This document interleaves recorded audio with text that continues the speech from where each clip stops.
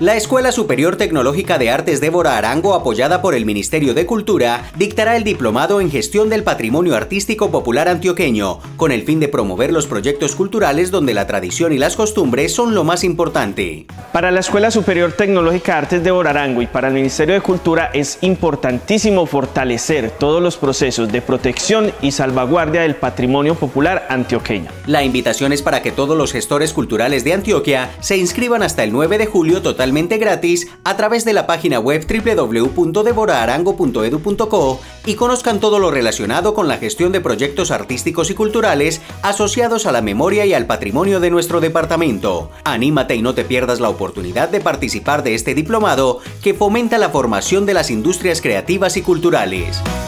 Juntos sumamos por Envigado.